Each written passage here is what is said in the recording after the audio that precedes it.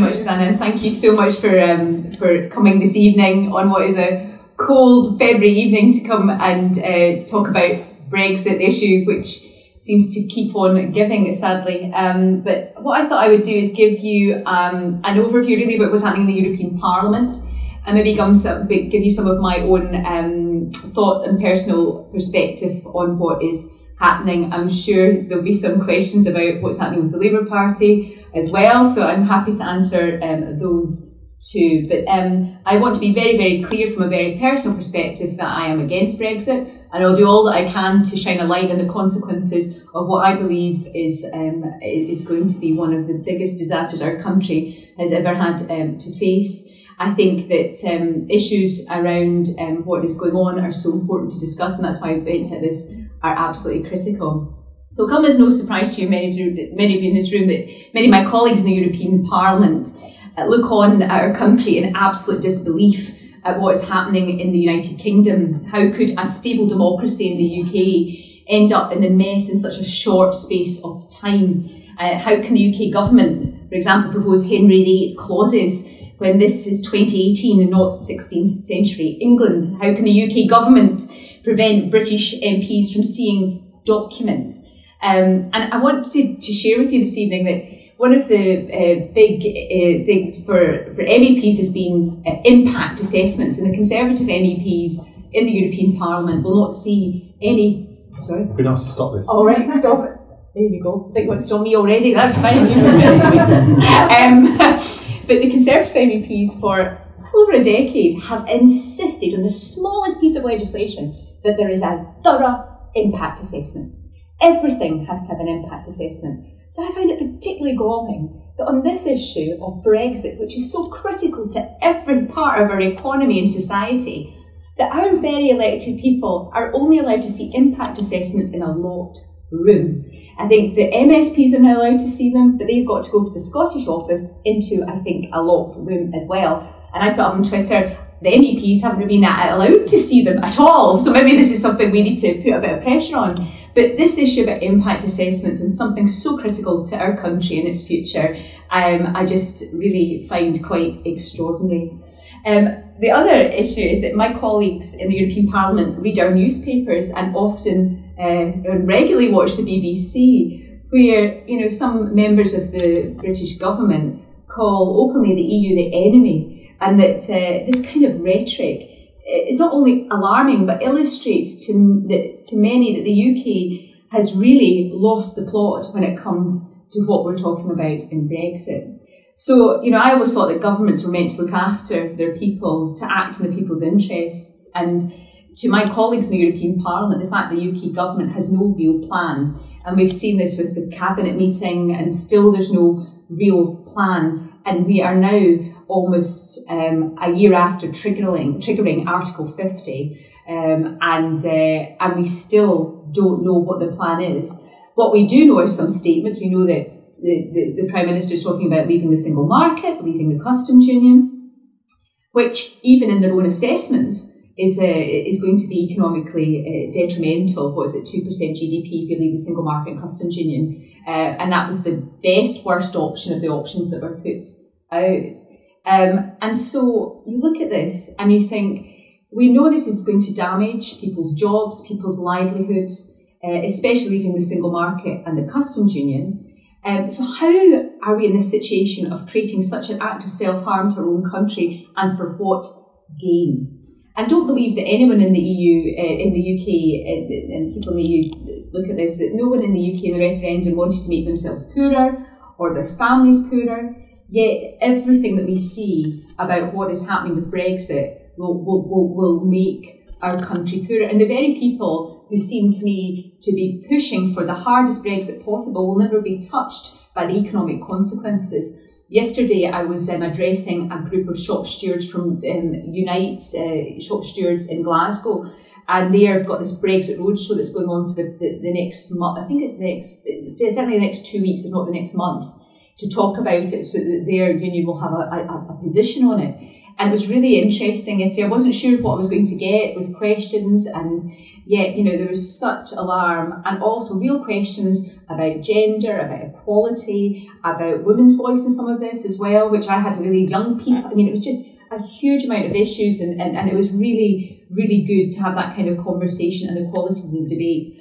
But back to the European Parliament. The European Parliament will have a yes or no vote on the withdrawal agreement. It will also have a vote and whatever our future relationship will be with the EU. Sadly, MEPs for Britain will no longer be there, but that will be actually voted upon. But MEPs, British MEPs, will have a vote on a, a yes or no vote on the withdrawal agreement. So where are we? So we know that there was um, a, a, decision made in December that we could move on from the kind of first uh, first um, first phase, which involved three things which involved citizens' rights, which are absolutely critical to the European Parliament's approval of the final agreement. You had the issue around money, which, although it wasn't the money aspect in terms of a, figure, I think uh, people all think it's about 50 billion.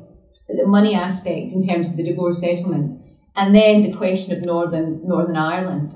Um, um, I mean, the question of Northern Ireland in the in what was agreed in phase one was interesting because on one hand it talks about full regu- full, full alignment of regulation, but on the other hand, uh, you know, the, the, government isn't wanting to be part of a customs union. So how are you able to kind of square that circle?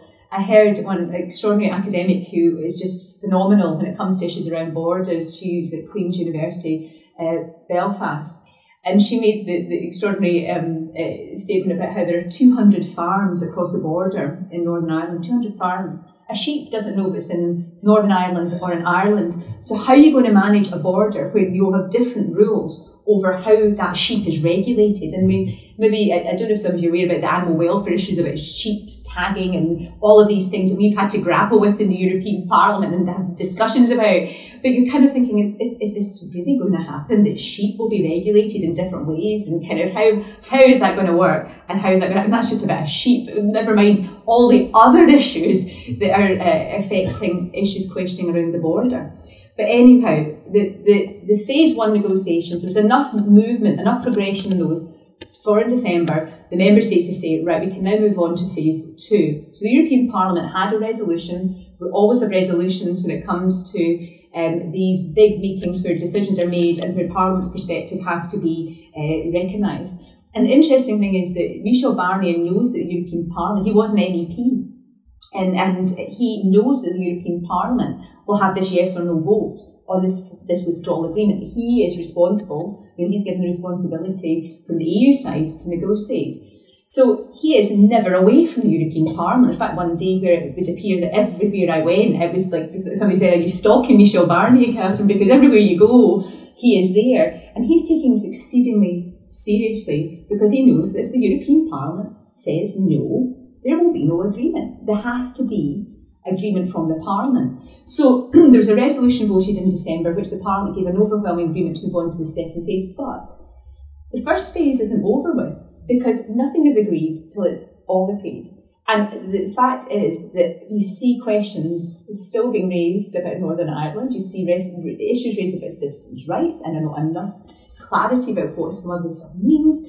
And then in the divorce bill as well, you know, yes, 50 billion, but when will that happen? How will it, what will it cover? Probably the financial year to 2020, which covers possibly any transition, but that's not all agreed absolutely yet. So we are now in this phase two negotiation. The, the, the heads of governments will be meeting in the next few weeks. The Parliament will have its next resolution, which means we've only got a six month window really now to get this withdrawal agreement together. It took us that long to talk about Northern Ireland, the citizens' rights, and the divorce, and we still have yet to be absolutely clear about that. What is going to happen in the next six months is absolutely critical. And I, um, I, I kind of, I've, I've put together a kind of few different scenarios which could happen. So I thought I'd share with that because actually at the moment, all we can do when it comes to Brexit is scenario plan because we don't know. You know, a lady yesterday said to me, so what's going to happen to the European Social Fund? She was in a college in Glasgow, and I was like, well, you know, once we're out, there's no social fund. However, if you're in an EEA arrangement, you know, the Norwegians do, do give money into a social fund of sorts, not maybe for the, the, the more kind of prosperous countries, but for certain countries who have need. So there are examples which are not full EU members, but where there is, but she was saying, you know, she's going into a meeting today and they wanted clarity about their social funding. And although they'll probably get it to 2020, after that, how are they going to replace certain funding that they have been used to or been able to, uh, to apply for? Anyway, so if we look at some of the scenarios as we move towards the March head of government's meeting and the Parliament's resolution, we can think of kind of so the EU27 want to know what the UK government wants in terms of its future relationship. And as such, all we can tell from what the UK government is saying is it doesn't want the single market, doesn't want the customs union, which begs the question then, what does the UK government actually want? And so, moving in the next two weeks, we need to be far clearer about what that means. And also, it is not clear yet, and that's why Michel Barnier said about transition. People here seem to think we will automatically have a transition period. But that isn't set in stone, that is part of the negotiation. So, you know, moving forward, you know, a transitional timescale will only be agreed if the EU27 agree. And so the transitional arrangement is not done and dusted.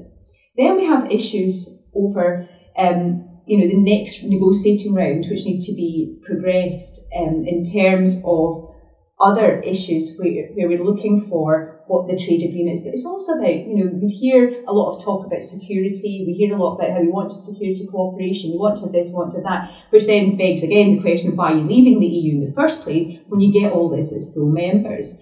And also the clock is ticking. The clock is ticking because come the, the what the 29th uh, of March 2019, we are out uh, because we triggered Article 50 um, on the, you know, for that two year period. So the clock is ticking. We have to get some form of agreement, or else we'll be out on the 29th of March 2019 without a withdrawal agreement, without knowing where we're going as a, as a third country, with our closest neighbours being the EU. And then I believe the WTO standards or rules will then have to apply, and no one knows how that will actually work in practice.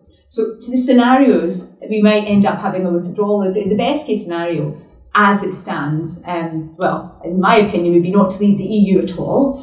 But if it, that is not going to be a possibility, which I still think there's a long way to go in a year's time and a lot can happen in a year. But as it stands, if the withdrawal agreement is concluded and includes transitional arrangements, the UK will abide by all the rules the EU sets have no say on how those rules are shaped or set in those transitional years. And then we will have some form of UK EU trade relationship that will be formed in that transitional time. Um, and it possi- there is possibility that a transitional arrangement wouldn't just be for two years, it would have to go on for some time. Because if you look at, say, the Canadian trade agreement, that took about 10 years to negotiate. And this, okay, we are much closer in terms of EU uh, regu- regulatory alignment, but it will take time. Then you've got a situation where, you know, what if the UK Parliament rejects the withdrawal agreement? And, you know, Keir Starmer said in a Fabian speech in January that if the six points of the plan, which basically amount to that this cannot be detrimental to jobs, well, it will be detrimental to jobs if we leave the European Union. So if the withdrawal agreement has in it that um, it will be, you know, you know, the, the, the Labour Party decides that they could, you know, um, uh, reject the withdrawal agreement. And so, therefore, if the withdrawal agreement is rejected, what then happens at that moment too?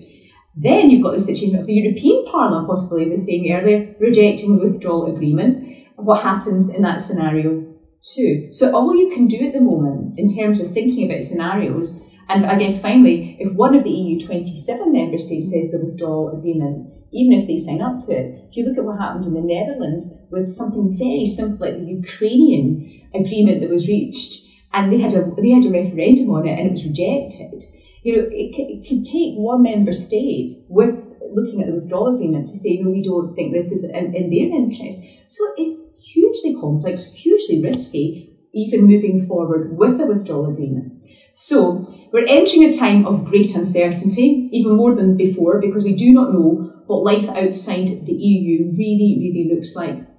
And if I take my experience as Sanson, I've served on the EAFTA delegation for a good part of 15 years. So um, we have joint parliamentary committees with Norway, with Iceland, with Switzerland, plus the overall EEA uh, issues are dealt with together as a delegation. So I'm vice chair of the Icelandic delegation and I'm on this EEA-EFTA delegation um, too. So it's really interesting when you see the relationship with countries who have the closest possible relationship rather than being part of the EU. So to start off with, the EEA was created as a fudge. Norway voted not to join the European Union, and it was created in a way to allow some form of cooperation with Norway that allowed it to have access to the single market.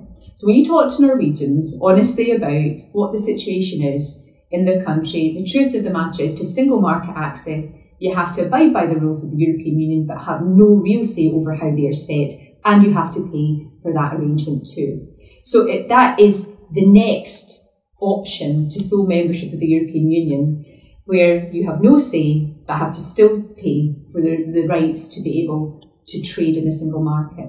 Now, for the Norwegians and the Icelanders, there's still, I mean, there's, they have a really interesting, again, very fascinating way of looking at this relationship, a very open way. They look at this relationship, they actually produce documents, they debate it, they discuss it. I happened to go to the 2011 Norwegian Labour Party conference. Fascinating thing. There's a lot of singing at the Norwegian Labour Party conference. I think we should really adopt that in, in Scotland as well. It was a really great atmosphere. But this one, they had a debate about the fourth railway package, of which they voted as their conference to reject.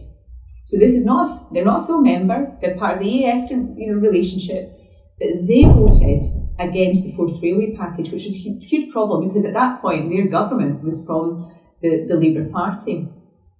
And I just thought, which other conference do you go to where you have that type of in-depth discussion and debate about something exceedingly specific, or it, yeah, it was the fourth railway, not the fourth, well, maybe it was the fourth postal, for that, that, that piece of law, they had the debate, debate discussion and, and, and, and made a decision about it.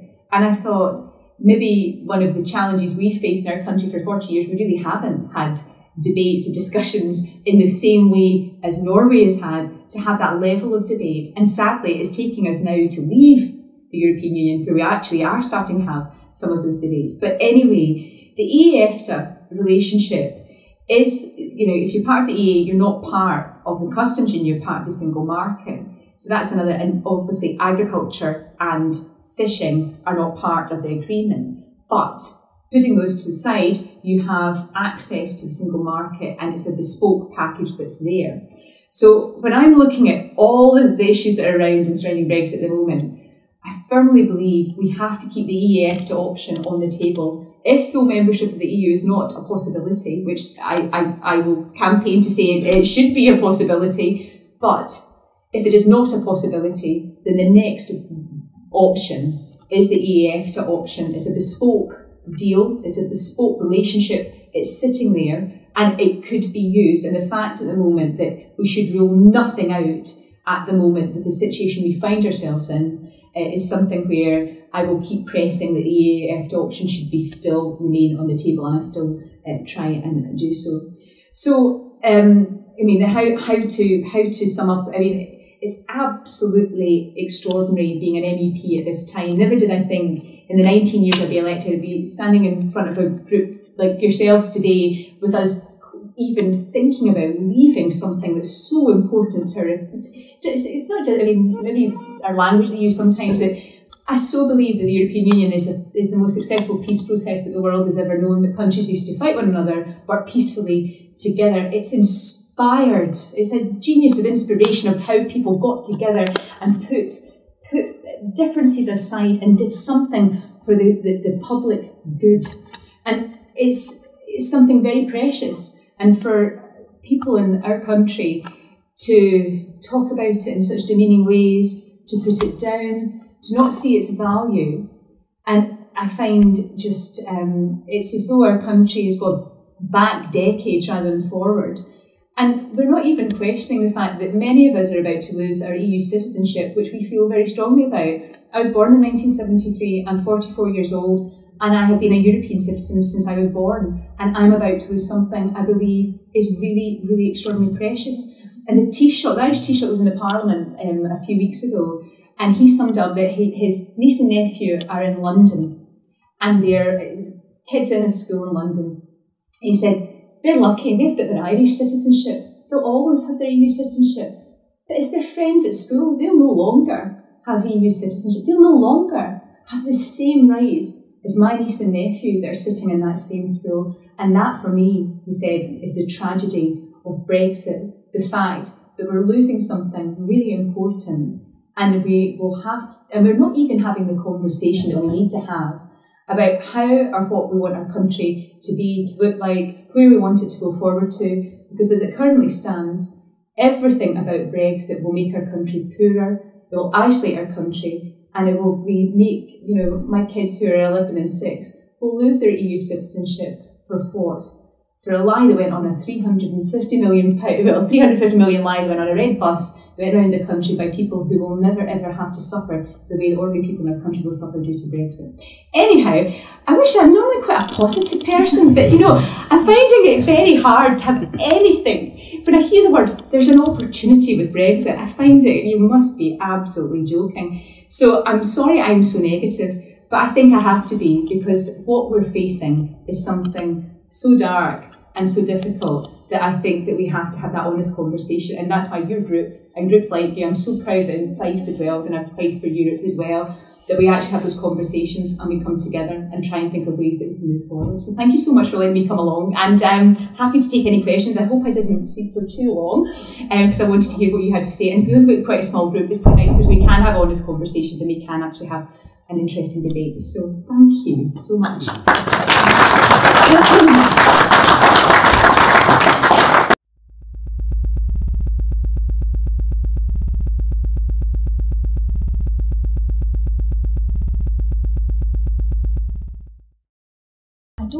honestly, that's not my experience. I think that colleagues just feel really sad for us. And, and I didn't really deal with this in my talk, but there are so many other issues happening. Frankly, MEPs just now are preparing for the next European elections. And what challenges are those that are facing people just now? There are obviously there's elections in Italy coming up where you could see Five Star who are against the euro being elected into government you know, in Germany, it's still not clear. You know, the, the, the, Social Democrats are actually having their own internal referendum of whether they should forge this coalition, and seemingly the, the young. I, I used to be the kind of um, uh, the, the, the young Labour rep of the National Executive Committee, so that equivalent today in Germany is forging the campaign against this grand coalition Germany, and he's making a huge name for himself. And you're kind of like, he's not certain about what's happening in Germany. It was extraordinary what happened in France. I mean, Macron, what a force. Um, and you know, so you do see things can happen, but majority of colleagues they just they just feel sad for us. But also, if you want to go, go. You know, and and that's where it's hard for them because you know I we have um, Guy Verhofstadt's the kind of what we call a share person. He he's the kind of key interlocutor with Michel Barnier, But with um, with Guy Verhofstadt, you've got group of people from the Parliament. So you've got um, Roberto Gualtieri, who's chair of the Economic and Monetary Affairs Committee, who was invited to meet Theresa May two weeks, just you know, the, the day after the cabinet meeting, or the day, yeah, the, the day of the cabinet meeting. So that's going to be a, an amazing time to go and speak to her with what you know.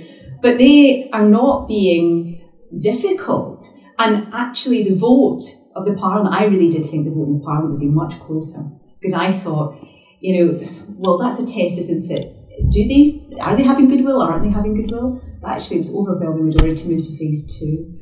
And I think that shows that the Parliament will not be obstructive for being obstructive sake. It will be, but that's because of all the work that Michel Barnier is doing to ensure that the European Parliament is consulted. And just to share with you, we've got these four week cycles that happen at the, at the moment of, of consultation. So the first week, the European Commission publishes its documents. It then talks to the member states, comes to the European Parliament, comes to the different political groups. I mean, Michel Barnier has been in the Socialist group a number of times. Then you move after the second week to the third week, which is the proper negotiation where they come together with the UK and the EU to talk it through. And then you have the fourth week of the debrief. So it's really clear. The documents are all available online to look at. It's very transparently done. Where's our equivalent? Where is our equivalent? I've said this from the beginning. that the UK government should be treating the Scottish government, the Scottish Parliament, the Welsh Assembly. They should all be having these same cycles of negotiation so that we have alignment, as well as having everything publicly available, not MPs having to scuttle into locked rooms to see documents that are important for our future. So, I mean, it's um, this four week cycle is, is, is, I mean, the other I should share with you, uh, talking to people from the EPP groups, that's the European People's Party, European Right, it looks as though Michel Barnier could well be the European People, People's Party's candidate to be the special candidate for the European elections. So if they get more votes than any other political family group in the European elections, Michel Barnier will be the next Jean-Claude Juncker. He'll be the next president of the European Commission. So when we're negotiating a trade deal with the European Commission, who will be our interlocutor?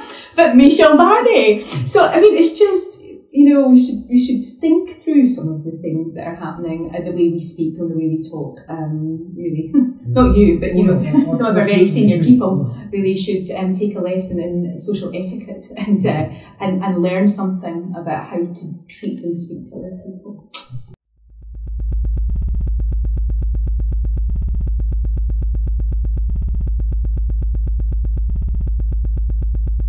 So I, th- I think that people, if Spirit wants to stop Brexit, you can, right? And I mean, I, that's part of the reason why I put my name to the court case in Article 50, because I thought that, that, you know, we need to get some clarity. It hasn't gone so well so far, but you've got to keep trying. But um, I mean, it's kind of clear to me that if you if you want to stop it, it's up to the UK to stop it.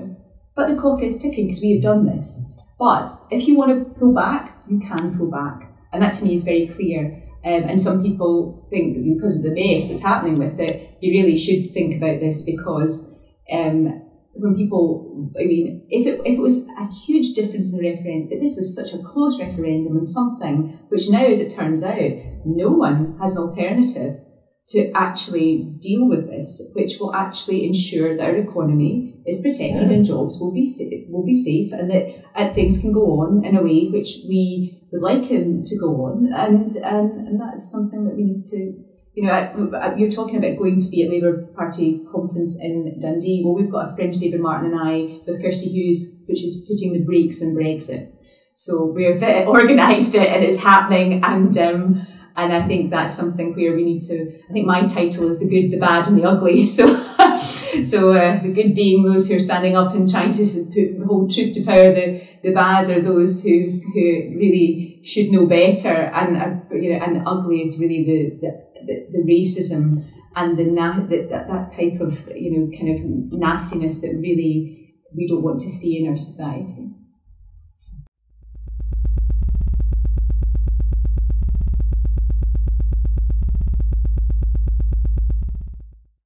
I, I am trying, um, but I think that so there's a number of things. Keir Starmer, to be fair, has moved on the customs union, and that took about a year, but at least that's happened. So that's a positive movement. But there will inevitably be this debate that will keep on going. Um, I mean, I'm gutted, if I'm honest with you, about where my party is at the moment because um, as a committed internationalist and European, um, I would hope that the Labour Party would be very, very much against Brexit and what is going on. Um, sadly, partly due to the politics of it, that 70% of Labour MPs were in areas where people voted to leave. Um, uh, that, that I think that this is part of the position, but also um, I think that there, the leadership at the moment is not in, in terms of being pro-European, the way I see being pro-European, are maybe not in that space, um, sadly. Um, but all you can do is keep on trying, and I think the fact that the policy forum this weekend they actually got some movement that each committee had to have a Brexit coordinator, and that was down to the leadership of uh, Richard Corbett, who is the leader of the European Parliamentary Labour Party. So there is some movement, but um, I feel we could be much stronger. And at the moment, you know, a customs union, what does a customs union mean? Well, it's not full membership and it's certainly not, you know, it's certainly not full membership and it's certainly not, not an EEA relationship, which allows you to, also for citizens and for rights around those issues, um, it's also quite important. So, um, all I can say to you is maybe invite Jeremy Corbyn to come to this meeting at some point and tell, ask him what his viewpoints are about how you can persuade him too. I'll keep trying, and um, and there's a number of people who do keep trying. But I think part of the reason the European, the Parliamentary Labour Party is where it is is of how the vote panned out, particularly in England. I'm being honest with you because I think it's better to kind of rather than you know because I'm absolutely gutted at the moment about where we are and I want us to change and I will do what I can do while I'm still elected which I think I'll still be elected for another year. So keep keep fighting the good fight and trying. But it was interesting yesterday at the Unite meeting. Very interesting that so many people were very committed to to Europe and what being part of the European Union is particularly in their workplaces and where they know that jobs will be put at risk if we leave the European Union as it looks like we're going to do. Sorry, I can't be more positive.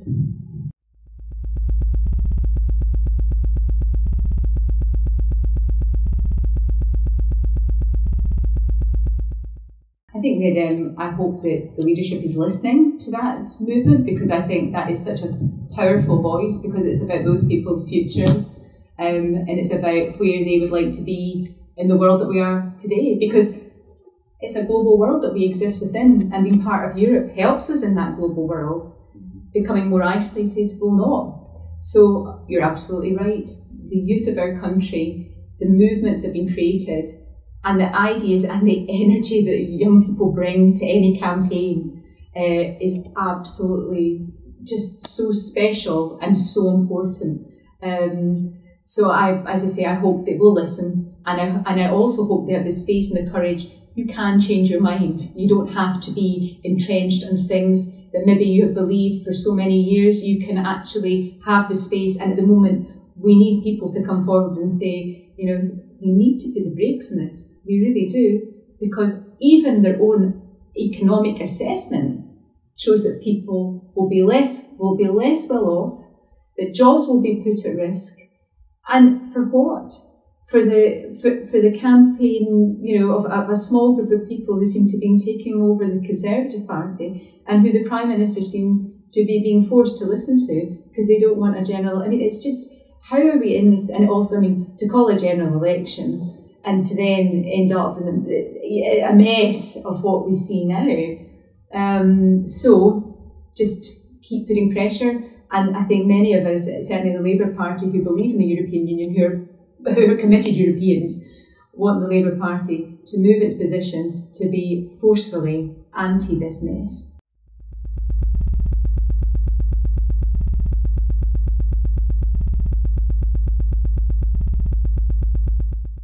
I mean, on the, the BBC issue, uh, let's let's think about it because I, I mean, the, the stuff about Nigel Farage being on question time all the time, and they're saying, you know, and somebody put up, I mean, in 19 years I've never been on it, and a number of MEPs, majority of British MEPs have never been on question time or never been asked to be on question time. Now, I see, I, I keep thinking then, is it those powers that then don't want you to watch the BBC or to challenge it? Because actually, a public broadcaster is important and I might disagree with some of the things, but not all of the things. So how do we, you know, because I'm, I, I, at the moment, I'm very frustrated with the BBC on Brexit in particular. I feel that some of the coverage of it, it's very, it's, it's, it's very choice. Okay, people have to make decisions about this, but I think for some, I, I find there's something where it was about the single market and the way they'd spun it I thought that's wrong because it should be. A, but then the next hour it changed again. Now we're living, and we've we've faced it through this 24-hour news cycle, and, and we've never been. You know, what 20 years ago we didn't really have the 24 news cycle. Now we don't just have the 24-hour news cycle. We've got Twitter and we've got Facebook. We've got social media. Everything is changing. I mean, The way that we consume news, the way we look at it. But I still believe there's a space for a public broadcaster. And that's where I think that much of my frustrations with the BBC, and I have some, I think that its underpinning good is still there. And we have to put pressure on it in terms of, and that's why social media puts so much pressure on it. But you were talking about democracies, and I've just finished reading a book about this is this is this is maybe more a positive thing to kind of give you. But I've just finished reading that It's it's a really uh, if you haven't had a look at it, it's about. Its title isn't the most positive. It's about how democracies die, but it's also about how they're built back up again. And it's two academics from Harvard, and this is actually towards the end of the book, and it's um, and I printed out because I thought we're I think we are thinking about what is democracy at the moment, because I certainly am. I'm thinking about it because, well, about what's happening in the UK, what's happening in the EU. And this was written in the kind of the darkest days of the Second World War, when America's very future was at risk. And as a writer, E.B. White was asked by the US federal government Writers' War Board to write a short response to the question, What is democracy? And his answer was unassuming, but also was inspiring. He wrote, Surely the board knows that democracy is. It is. Sorry, I have my reading glasses on. i have started at 44 getting, getting having to read my reading list, so you just have to bear with me. It is the line that forms on the right. It is the don't in don't shove. It is the hole in the stuffed shirt through which the sawdust slowly trickles. It's the dent in the high hat. Democracy is recurrent suspicion, though more than half of the people are right more than half of the time. It's the feeling of privacy in the voting booths, the feeling of communion in the libraries, the feeling of vitality everywhere. Democracy is a letter to the editor. Democracy is a score at the beginning of the ninth. It's an idea which hasn't been disproved yet, a song the words of which have not gone bad.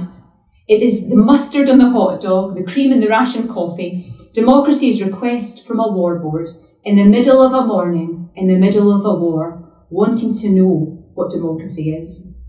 And to me, that just, I think that is quite inspiring because we have to be, the idea of being tolerant of each other. And somehow, at the moment, this mutual toleration and respect that we have in our democracy seems to be going, seems to be, for those of us who believe in the European Union, sometimes I look at the way our debate is just now and I feel, what is going on? What is happening? So I shared that with you. That was a bit of a digression. I just happened to have that in my book there, and I thought, well, I will, I will bring it out to share with you. But do read that book about how democracies die and how they're built back up, because I think it does give you hope. But but we are. I mean, we look at Brexit. Brexit didn't just happen overnight. In 2014, UKIP won the European elections. It was there. You know, people uh, if you've had Nigel Farage an MEP for 19 years saying how terrible the EU is and all of this, straight bananas, free, Europeanised failure nationalised success all the time for 40 years, whether it was Conservative or Labour governments or whoever, you know, there comes a moment when people are asked a simple question about something and people feel they're so disenfranchised, they've got no say in a democracy, they've got no, there's nothing that they can, when somebody tells them they can take back control, when they, three words, so effective, but you can take back control, people are going to do that. And in a referendum, it's a very, very strange type of, of you know, that's, that's why referendums are illegal in Germany, because, you know, they're not going to have any risk of referendums and what they could do in a country that suffered so much after the, you know, the two wars. And it, it just is quite something that we are where we are uh, today, and we need to take stock of that as well.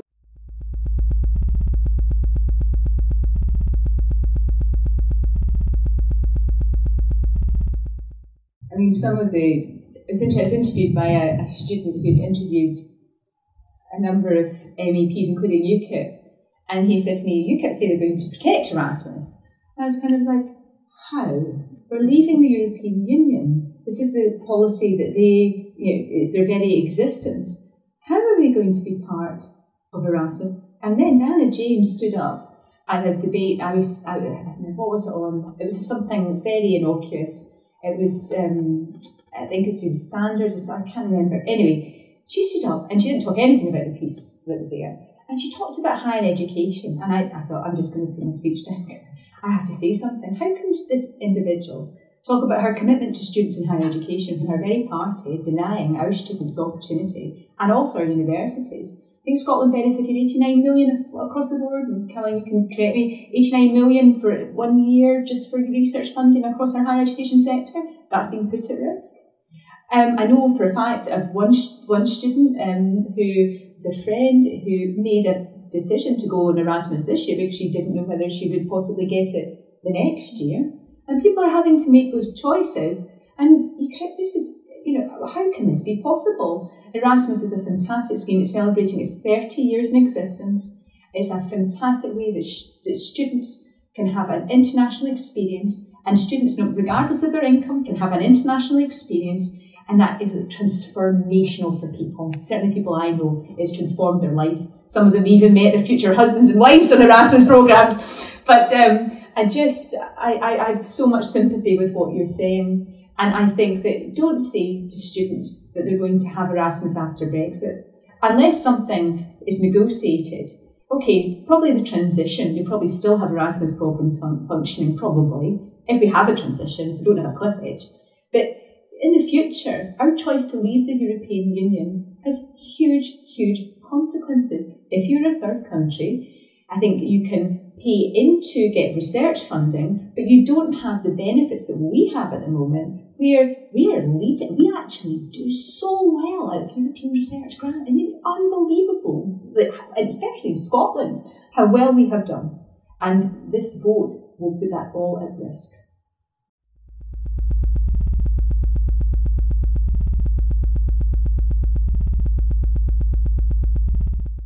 The, the, the, do you know they do this daily politics programme? And on a Friday, once a month, they were to have MEPs.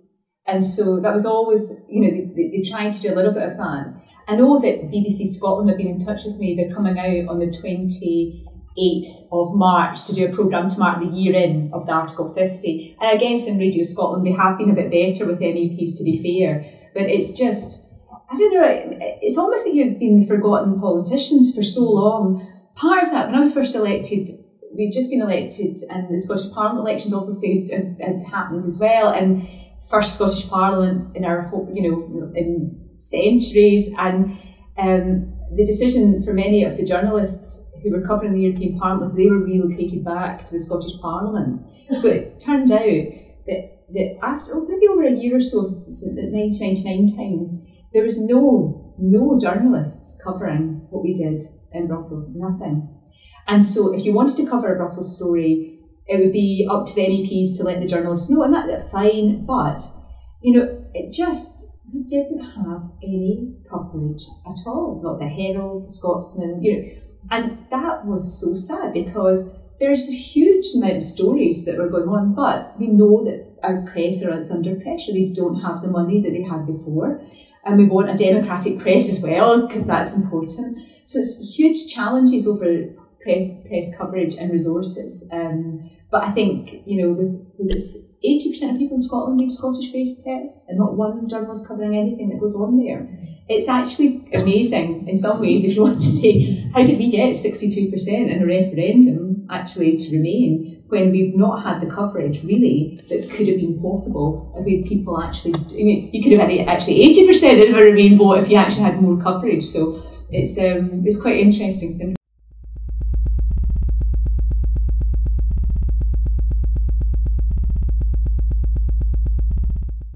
So I mean, we, we were talking about this yesterday about state and part of you know they give the question of the this this state aid uh, issue. You're kind of like, well, actually, if it's such the case as that, why then is railways in Germany and France under public control? How can France and Germany do it and we can't? It was a political choice in the United Kingdom, and don't blame Brussels. Then you talk about procurement. I worked in the procurement policies, and it was led. It was led by a guy called Marc Tarabella, who's a social democrat, and he would describe himself on the on the left. And you're thinking, the you know, this gentleman drove through the new public procurement rules um, get him to come and talk to you actually about what's happening. Because what I would say, many of the decisions that are blamed on Brussels for not being able to do things, it's an easy person to blame. In fact, it's our choice, the United Kingdom, about what we do with our public policies. And so, for some on the left, there is definitely, they see the European Union, have always seen the European Union as some form of capitalist conspiracy. That is true, they have. And then some of them will remain to do so what I would say is a force for good, it's a force for peace. And also, you, you know, we live in a market economy. If you want to balance that and have some some balance, you balance it with social rights. Social rights have been driven by the European Union. You look at Jacques Delors and his speech that transformed how social rights were seen, and that balance, that wonderful balance of having a market economy but balancing with social rights. And and we're about to lose those social rights with Brexit. And I think that's maybe why the trade union movement at the moment is trying to look at this seriously about what it's going to do at moving forward. Because those rights, when people talk about new trade arrangements, well, you can strike trade deals all you like as a third country. It's what's in those trade deals that matter. So, I mean, strike a trade deal with Mr. Trump, and then you'll have certain varieties of fun, unknown chicken coming our way. Um, you know, I, I mean, I, I jest, but I mean, it's pretty serious about it. Really serious about what the vision of some people, not all of them, but some people who are wanting us to leave the European Union, what their vision, particularly on the right, is one of low wages, of trickle down economy, of making Britain some form of tax haven, and it's, it's European rules that are trying to tackle some of this stuff. Um, and I think it's interesting, isn't it, that with McMafia, and, and, sorry, I know you don't watch the BBC, but one of the things I did watch in the BBC was was the, the McMafia programme, which was very popular. But again, that's that book by Misha Glenny has been out for is it a decade? And you know that information has been there. It took that BBC series for actually people to question things, and it was quite extraordinary. Kind of like how can the security minister or the treasury now be talking about these things uh, when actually, you know, you guys are Brexit people, you know, because some of this stuff is because we're in the European Union, we can try and tackle some of it. And if you think that is bad, just think we're being outside a set, a rules based organisation, being on our own, having to grapple to do trade agreements at any cost to our people to get a trade agreement done very quickly is not something uh, you at least have power. I mean, there are debates about how trade agreements and different things, and I take that. But you have more power if you're part of a group of 28 than you are, even as a large country of what, 76 million people, you're much better off being part of a larger group than being out on your own.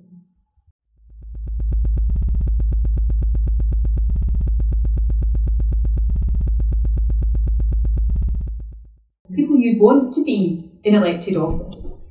Um, but I also see people who, you know, who want to protect their own ambition, protect their own interests as well. So you can't generalize. I mean, this is the thing you can see. You know, people who are elected into politics come in at, different places, different ways, different views. What I would say for some is that they are whipped as a. I mean, they are elected under a party banner they are whipped, and to break the whip has consequences as well. And they're weighing up, and they also, many of them feel loyalty, this loyalty that you're elected as part of a party as well. So you're elected a party ticket, but you're elected therefore, I mean, I represent the whole of Scotland, I'm elected a Labour list, I represent the whole of Scotland. What did the whole of Scotland do? It voted to remain part of the European Union, 62%, and I think that you've got responsibility to represent those interests as well as listening to but put forward the arguments about why being part of something that's bigger than you is important and the important and the, and the consequences of what is being suggested about leaving. So do you not have a party whip? No, I, I, I was the whip of my group in the European Parliamentary Labour Party for three years. So we do have a whip. But the whip is very different in the European Parliament than it is at Westminster. And I think the culture at Westminster as well means that the way it works, I worked at Westminster for two years. No, I wasn't elected, I worked for an MP. Um, I think people, frankly, are under a huge amount of pressure. And so um, they have to make decisions. It's not easy. And I think that's another, people aren't going in and going, I think a lot of people really are grappling with what to do with a situation where, say, in the say their constituency voted to leave, they're, they're, they believe in Remain, they want to represent their constituency, but they also want to be able to kind of put forward what the consequences of this mean to the people that they're representing. It's hugely difficult. And also, I think some of it really comes down to how people feel about where loyalties lie and how they grapple with that too. And that's hard as well. Um, I can only speak for my, myself in that, you know, when it came to um, issues where huge amounts of pressure were put certainly on my group and certain issues in the past. We took decisions collectively, which maybe wasn't what the what my government might have wanted at the time, but what now in terms of social rights, I'm glad we did what we did. So you can you can stand up. You have, I think you have to be very clear about what it is you're doing. And I think on Brexit, I wish there were more people who were clearer, who had the strength to stand up Mm-hmm. and to actually speak out against what is an act of folly. Mm-hmm. It really is.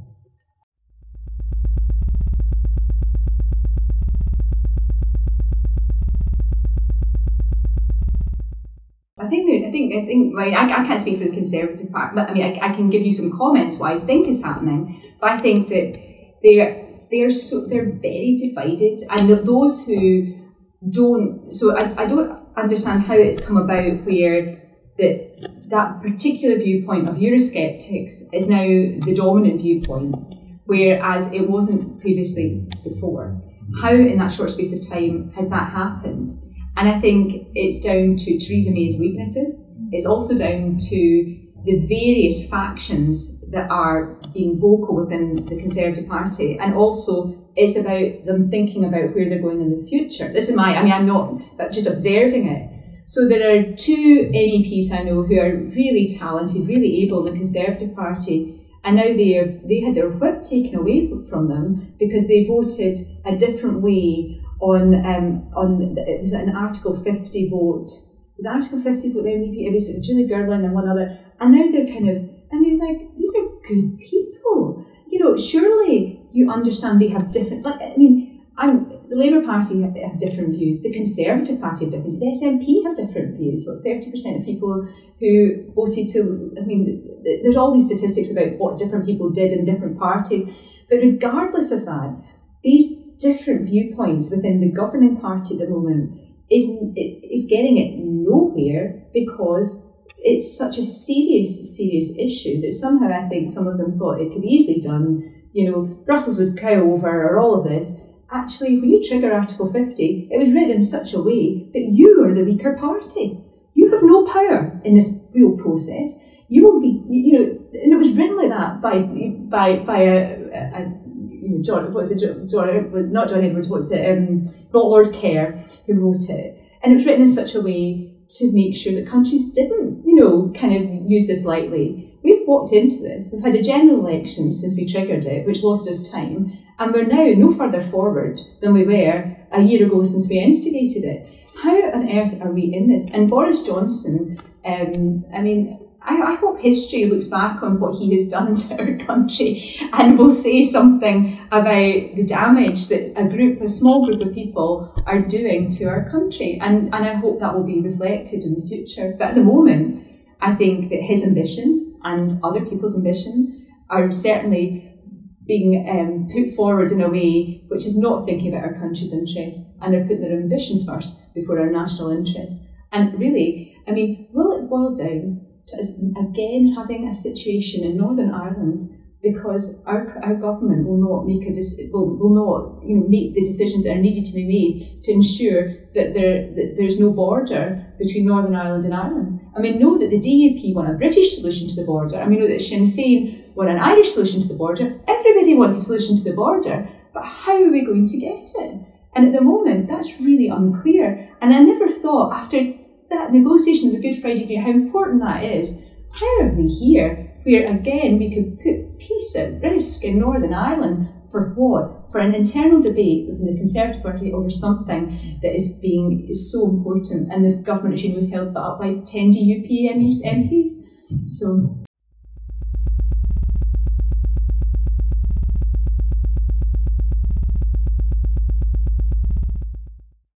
I think that what I think. So I think that there really needs to be serious thought about the Good Friday Agreement because the Good Friday Agreement is central. Mm-hmm. And when you look at how the European Union has supported the Good Friday Agreement, certainly through peace money and through kind of which hadn't gone before, really, really, you know, really important funding. But I cannot believe that that that we are where we are when when we all knew that Northern Ireland, you know, that, that Northern Ireland voted to remain. It, it, it's you know the politics there are because you can't form a government in Northern Ireland just now. They tried to was it last week wasn't possible, And now the current government is relying on 10 MPs' votes from one particular wing of the, the debate in, in, in Northern Ireland. Some people have been saying to me, why are Sinn Féin not taking their seats in the British, in the, in the British Parliament um, to put another point of view? But they know that's historic and that's why they don't. But I think that um, really, they, they, I mean, they need to work with the Irish government. They need to have, um, I, I would say, they probably need to to, to focus on making that more of a political priority. But when their political time is being spent trying to navigate these different, because she's, the Prime Minister says one statement, another person contradicts her, the cabinet's all over the place, they don't know what they really want, but then they're saying they don't want the single market in the customs union. If you don't want that, what do you want? Well, that's not very clear at all. Um, so, whilst they're, expe- they're spending all this time and energy over one thing, they're not concentrating probably on the most important thing. She would say that they, they did try to form a government in Northern Ireland and all of that. Yes, they did. However, you need to spend and expend time and energy in trying to ensure that you solve this situation because you know it's a situation, you know it's the most problematic part. The money can be solved, citizens' rights can be solved, but the Northern Ireland issue and the border issue cannot be solved if we do not remain part of the single market, I mean, if you remain part of the single market and customs union, you can solve it. If you don't, then you can't. And that's my understanding. So that's why I'm saying keep the EEA option open, keep these options open. Don't rule anything out. Do not rule anything out. If I can't be a full member of the EU, the second option is an EEA option. It's bespoke. Now, people say EEA was done out of a fudge because Norway said they didn't want to be part of the European Union. Okay, that is true. The EA, the EA, has been there for longer, the EA um, agreement came about and it's there. It might not fit everything we want. It might not be perfect. Of course, it's not. Nothing, no government, nothing is perfect. But if we've got six months to do negotiation, if we've got six months to do something before we have a cliff edge on the 29th of March 2019, you don't have many options open. And if we had time, you could have a different arrangement negotiated, but that would take 10 years. So, what have we got there that's there that we can use? Now, some people will say you could use that in the transition, and then possibly you might think about a different relationship and all of these things. But the clock is ticking. We're short in time. With the situation in Northern Ireland, I think is one which, yeah, I mean, part of is right that it could be that that stops everything and all of that. The more likely thing that will happen is that we'll have another general election before we even get to that stage because things will fall apart at Westminster. And it looks as though, you know, things could, I mean, that is a possibility when things come to, to, to, to be voted upon and you look at the reality and the numbers are really, really tight. Even with some support from the different factions of different parties or whatever, it comes to a vote when you look at the last vote, there's what three votes in it that, that changed it.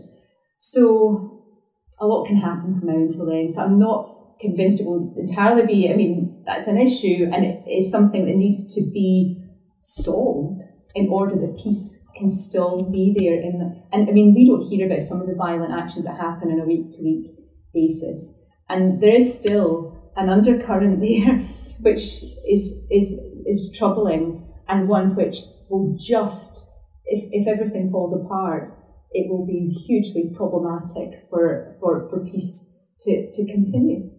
Sorry, again, this is so depressing, isn't it? I mean, I, I don't want peace. I, I, I don't want peace to end anywhere. I want peace to continue, you know, so.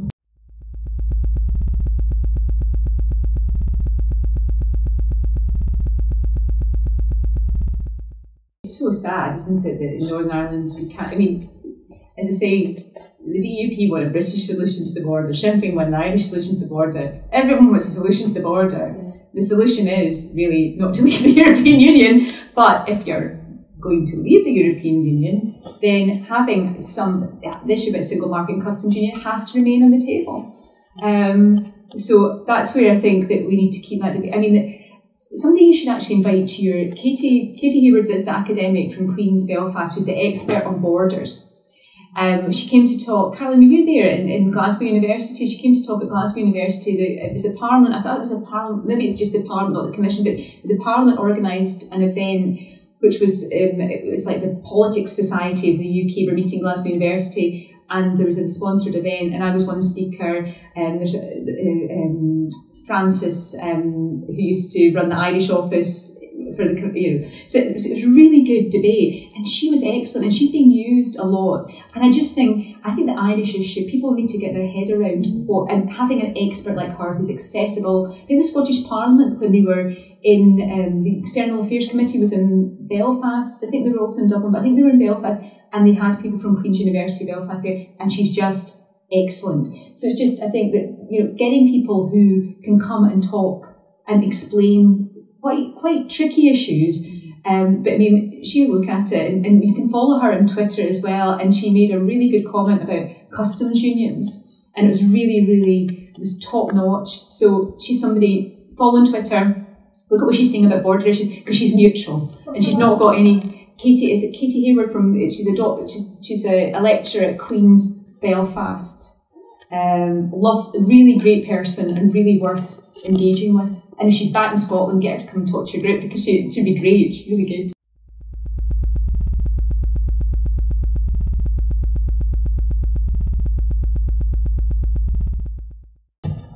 What can I, what can I, and how can I answer your question when I feel your frustrations and I'm trying to put forward to those who are making those decisions that you, if you're coming out of the European Union, you have to keep every option open. There's no such things as a jobs first Brexit. A Brexit means job losses, full stop. Um, I will never use that line that seems to be being used. Um, and also just, I want to see the Labour Party standing up against this hard Brexit. Hard Brexit is a choice. And the British Prime Minister is making that choice based on purely her own party pressures because you could choose to be part of EFTA. You can choose to think about about the re- relationship around around that, and somehow we're ruling that out. And I think that is really that's a poor judgment when you need to keep every single option open to ensure your country is not left at a cliff edge on the 29th of March 2019. But I will keep pressurising those in my party who are taking, shall, shall we say, a weak position on what should be much clearer. And I think that people, you know, the more people put pressure on Jeremy Corbyn to change his position, I think that's happening. And I think that has to be a good thing because if he would come out and be much clearer about what his views are in terms of making sure that people's jobs are protected, that people's livelihoods are protected, and that Brexit, we should put the brakes on Brexit, I think it would be really impactful. Mm-hmm. But all I can do is say I will keep putting pressure on him because that's the only thing I can do as a pro European, anti Brexit politician who wants to see their party change their policy, which has changed from when, you know, it's so dramatically changed that I feel that, you know, we can take a step back and we can say we want to put the brakes on Brexit and legitimately put that forward in our national interest.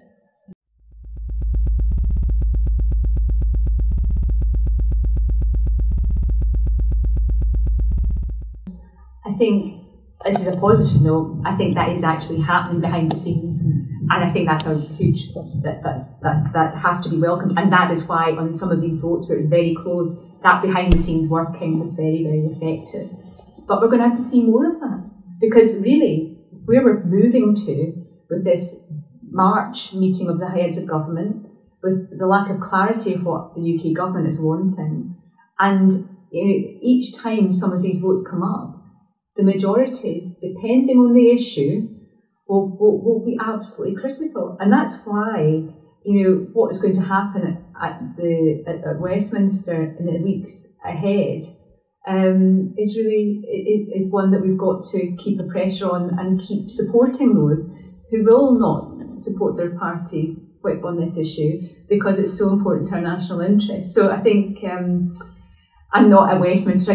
what, what, what I find interesting um, when I've spoken to MPs privately is that I think there's a clear understanding that being part of the single market and customs union is important. A clear understanding amongst many of them who voted to remain. This is not a situation they wanted at all, and they they, they know that this is not a good situation that our country is in. And everyone, if Brexit is going to happen, and that's a question mark in itself, but if it is going to happen, what are the different scenarios? And one scenario has to be the single market and customs union. It has to be an EFTA. As I say, EEA, you're not in the customs union, but you're in the single market.